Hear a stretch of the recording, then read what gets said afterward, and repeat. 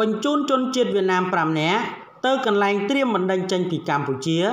នៅខេត្តសៀមរាបក្រោយពីចាប់ខ្លួនបន្ទាប់ពីលួចឆ្លងដែនខុសច្បាប់ចូលកម្ពុជាបងប្អូនជាទីគោរពរាប់អានរឿយរឿយបាទជនជាតិវៀតណាមបាទក៏ជនបរទេសមួយចំនួនតែងតែមានការរណីឆ្លងដែន បាទចូលមកដែនដីកម្ពុជាយ៉ាងខុសច្បាប់ទាំងដែនសមុទ្រទាំងដែនគោកបាទក៏ដូចជាតាមព្រំដែននានាហើយករណីទោះបីជាសមត្ថកិច្ចរកឃើញជាបន្តបន្ទាប់មានករណីបញ្ជូនចេញពីកម្ពុជាជាបន្តបន្ទាប់ក៏នៅតែមានករណីលួចចូលមកដោយខុសច្បាប់បាទរកឃើញជាបន្តបន្ទាប់ដែលមិនសូវដាច់ប៉ុន្មានឡើយនៅក្នុងនោះដែលការរកឃើញភាគច្រើនជាស្ត្រី ដែលចូលមករកស៊ីផ្សេងផ្សេងនៅក្នុងតំបន់នៃព្រះរាជាណាចក្រកម្ពុជាក៏ដូចជាមកតំបន់សំខាន់សំខាន់មួយចំនួនដូចជាពេលបច្ចុប្បន្នបាទគឺយើងតែងតែឃើញចាប់បាននៅក្នុងដែនសមុទ្រក៏ដូចជាព្រំដែនគោកបាទហើយការចាប់បានជាបន្តបន្ទាប់ស្របពេលដែរបាទប្រទេសវៀតណាមកំពុងតែជួបបញ្ហានេះផងដែរ ជនជាតិវៀតណាមចំនួន5នាក់ត្រូវបានកងកម្លាំងស្នងការដ្ឋាននគរបាលខេត្តបៃលិនបញ្ជូនទៅកាន់កន្លែងត្រៀមបណ្ដេញចេញពីកម្ពុជា នៅក្នុងខេត្តសៀមរាបថ្ងៃទី1ខែមិថុនាឆ្នាំ2021នេះក្រោយពីចាប់ខ្លួន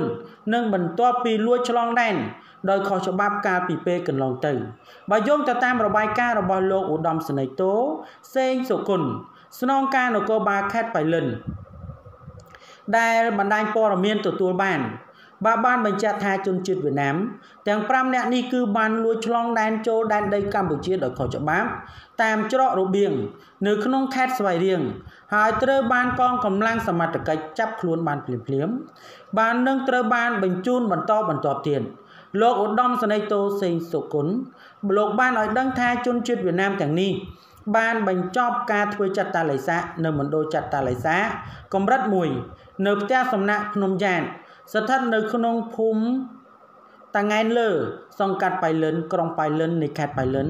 បច្ចុប្បន្នពួកគេត្រូវបានបញ្ជូន ទៅស្នាក់ការត្រៀមបណ្ដេញចេញហើយនាយកដ្ឋានស៊ើបអង្កេតនិងអនុវត្តនីតិវិធីនៃអគ្គនាយកដ្ឋាន អន្តរប្រវេសន៍នៅក្នុងខេត្តសៀមរាបគឺបានត្រៀមបើរួចជាស្រេចនឹងកំពុងតែធ្វើឯកសារក៏ដូចជារៀបចំនីតិវិធី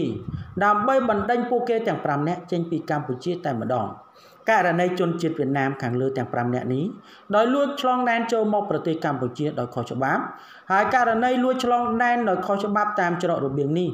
គឺมันអាចលើកលែងបាននោះទេនឹងត្រូវបានបញ្ជូនទៅកាន់ប្រទេសកំណើតរបស់ពួកគេវិញបន្ទាប់ពីរៀបចំឯកសាររួចរាល់នោះហើយករណីខាងលើនេះផងដែរពួកគេបានធ្វើចាត់តាលិស័ករួចរាល់និងបន្ទាប់ពីធ្វើចាត់តាលិស័ករួចរាល់ការអនុវត្តការបណ្ដឹងចេញនឹងត្រូវបានរៀបចំរួចជាស្រេច ដើម្បីធ្វើយ៉ាងណាការពារកុំឲ្យមានករណីជនអន្តរប្រវេសន៍ដោយខុសច្បាប់នៅក្នុងដែនដីនៃប្រទេសកម្ពុជាដោយចំណព័ត៌មាននេះមានប៉ុណ្ណឹងដើម្បីទទួលបាននូវព័ត៌មានថ្មីៗបន្ថែមទៀតសូម Subscribe និង Like